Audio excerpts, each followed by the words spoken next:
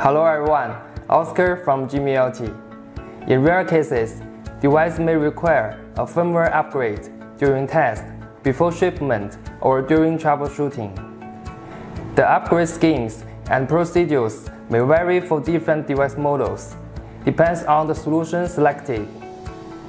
We provide four firmware upgrade schemes, flashing, memory card upgrade, point-to-point -point upgrade via Wi-Fi Kit, and OTA. In today's video, I will introduce the differences in these four upgrade schemes for the JC261 and JC400 series, as well as the specific steps involved. First, let's discuss flashing. A flashing upgrade uses specific software on a computer to update the device firmware, allowing you to monitor the progress and see the results instantly. This scheme requires close proximity to the device.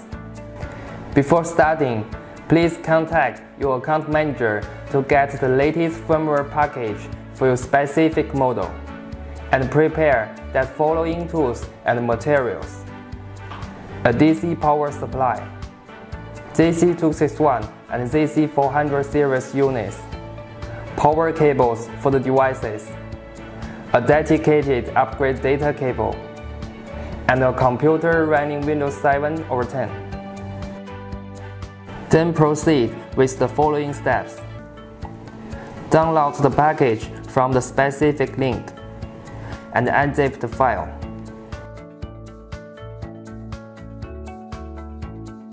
The upgrade file will have a pack suffix. Inside, you will find the files on the screen. Then unzip both RAR files.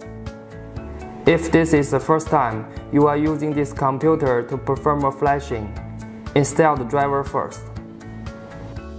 Open the driver file and run the executable file for your system. Follow the wizard to complete installation. Then open the upgrade tool and double-click the executable file.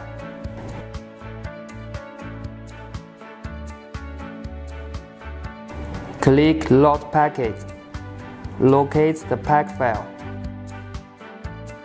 And double-click to load it into the upgrade tool. The version number appears upon import success. Check and ensure the imported firmware version matches your target version. Click Start Downloading. Ensure the device and the power cable are not connected to the DC power supply and the device is turned off. Connect the dedicated upgrade data cable to the computer and device.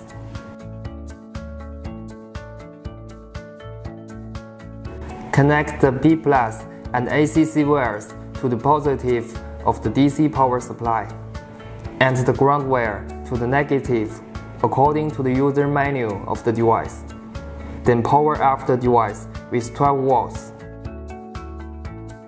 The computer will automatically detect the device and start the upgrade process, and you can monitor the progress. If the computer fails to start the upgrade, please check if the driver has been installed successfully. You can confirm this via the device list in the device manager of your computer. If the installation fails, try reinstalling the driver and restarting the computer. Then repeat the above steps. A success dialog will appear after the upgrade is complete.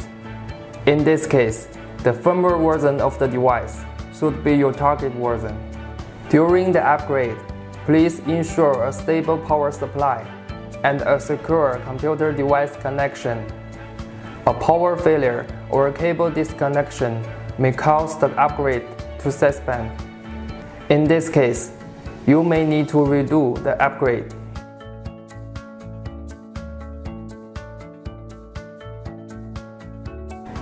That's all about flashing upgrade. Any future optimization of the process will be based on this. The memory card upgrade is to perform an upgrade by transferring the upgrade package saved on a memory card to the device without consuming device data. This method also requires close proximity to the device. Before upgrading via this method, please contact your account manager to get the latest firmware package for your specific model and prepare the following tools and materials. A DC power supply, JC261 and JC400 series units, power cables for the devices, a memory card, a card reader, and a computer. Then proceed with the following steps.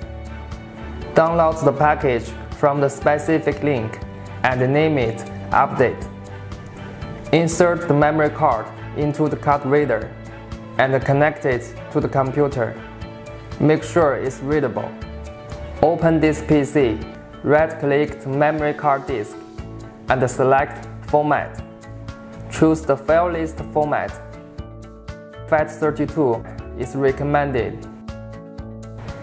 Click Start and OK to start the formatting process. After format success, copy the update file to the root directory of the memory card. Please note, there is no need to unzip the package. Safely eject the memory card from the computer once the copy is complete. Make sure that the device and the power cable are not connected to the DC power supply, meaning the device is turned off. Then insert the memory card into the device correctly. Connect the B plus and the ACC wires to the positive of the DC power supply and the ground wire to the negative according to the user manual of the device. Then power up the device with 12 volts. It may take 2 minutes for the device to start up until the three indicators start flashing or remain steady on. The device then detects and verifies the upgrade package and emits an audible prompt indicating the start of the upgrade. The entire upgrade may take 6 to 8 minutes. Please wait patiently and ensure a reliable firmware. power supply Please during do this not process. power off. During the upgrade, the three indicators will turn off.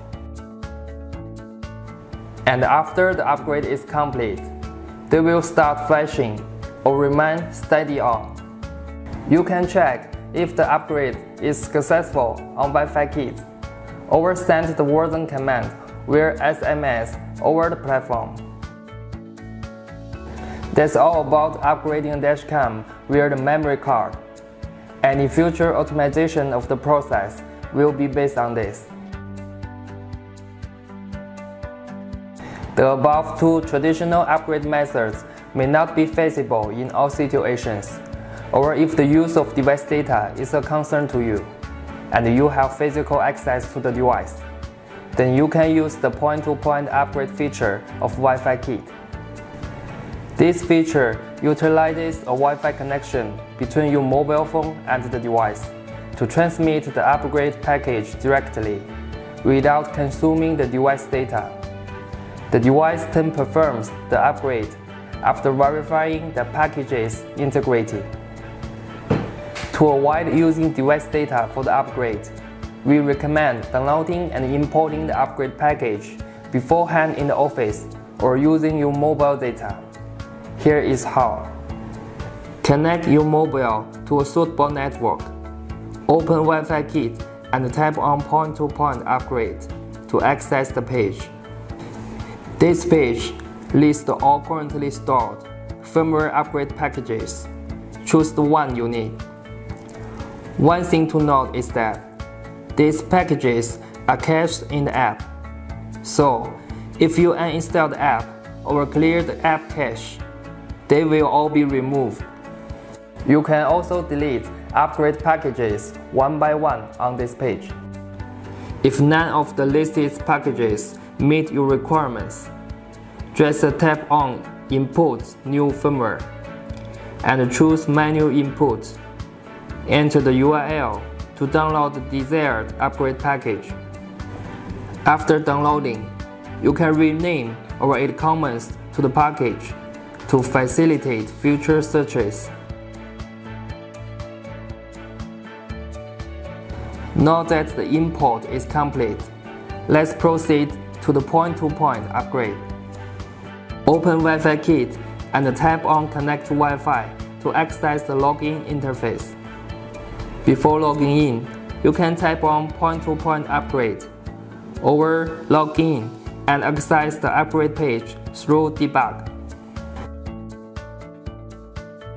Tap on firmware upgrade and on the desired upgrade package. Then tap on apply. During transmission, please don't exit the page or the app. Otherwise, the upgrade may fail. Once the device receives and verifies the package, you will hear a voice prompt indicating the upgrade start. Upgrading firmware. Please do not power off. Please wait patiently for the process to complete and ensure the device remains powered during this process. The device will restart upon completion and the connection with Wi-Fi kit will be affected. So if you still would like to check or test the device on Wi-Fi kit, please reconnect to the device hotspot and log in. Upon login, the firmware version on the dashboard should be your desired one. That's all about the point-to-point -point upgrade. Any future optimization of the process will be based on this.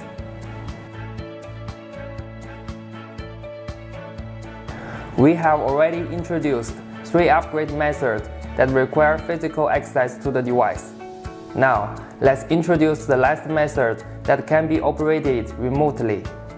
That is over-the-air upgrade. An OTA upgrade is performed through a wireless network, where the device downloads the upgrade package from the cloud using device data, verifies the package's integrity, and then performs the upgrade. This method requires the device to be online with a stable network connection. Currently, two OTA options are available. You can choose to use our OTA system, and we will configure an OTA task to your specific device by following these steps. Contact us with an official channel or your account manager and specify your requirements and we will configure the OTA task. Once configured, the device will detect the upgrade task and download the package from the cloud upon login. And the upgrade will start after the device verifies the package's integrity. No further actions are needed, but wait for the upgrade to finish. If you want to check if the upgrade is complete, just send version command via SMS over the platform. Or you can upload the upgrade package to a local server and send a command to require the device to download the package. You can get the upgrade package from our official channel or your account manager. Please make sure the name of the package is updated to ensure upgrade success. Upload the firmware upgrade package to your local HTTP server and create a URL that automatically starts the download upon access in a browser without restrictions or confirmation.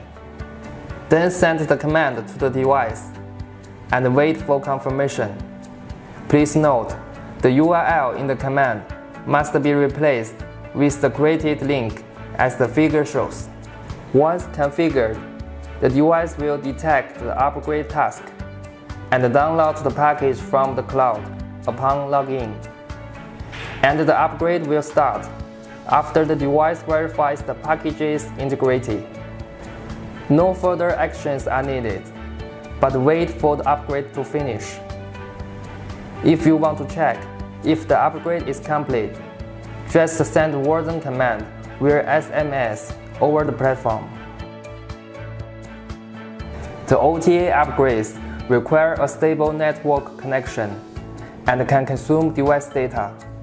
So for devices with much older versions, we recommend using the other three methods. That's all about firmware upgrade via OTA, and any future optimization of the process will be based on this. The table shows all available firmware upgrade methods for the JC261 and the JC400 series dashcams. Each has its own merits and applications. Just choose the one according to your needs. That's all for today. We hope this explanation clarifies the different firmware upgrade schemes for JC261 and JC400 series dashcams. Feel free to contact us if you have any questions. We would be happy to help. Thank you for watching and bye for now.